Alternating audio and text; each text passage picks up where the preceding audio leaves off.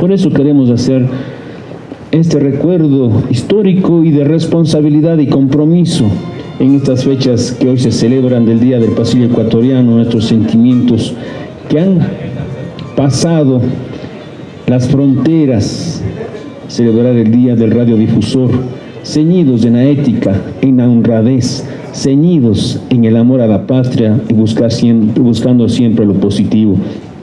Yo en este día quiero saludar a mis compañeros de micrófono y decirles que nunca hay que desmayar ante los retos que nos impone la nueva tecnología y las nuevas programaciones y los nuevas, las nuevas consecuciones de la audiencia que debemos mantener. Este es un día muy especial.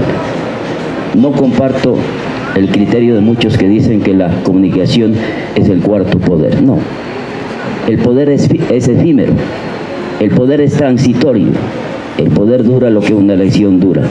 La radiodifusión es para siempre mientras tengamos la capacidad y la buena voluntad de servirles a todos. También el 10 de octubre se inician las festividades en honor del Señor de Girón, esta fiesta única, entrañable que tiene Girón a nivel nacional, que nosotros somos testigos y por eso el GAD municipal ofrece todas las facilidades y todo lo que pueda hacer para que esta fiesta sea el honor, la dignidad, la identidad de nuestra gente, de nuestro pueblo. También celebramos este descubrimiento de América. 13 de octubre también Día, del Día Internacional para la Reducción del Desastre. 16 de octubre, Día del Agricultor y Ganadero y el Día Mundial de la Alimentación. También se celebra el 24 de octubre, Día de las Naciones Unidas. También celebramos el 10 de octubre, el Día del Cuerpo de Bomberos, de los voluntarios bomberos.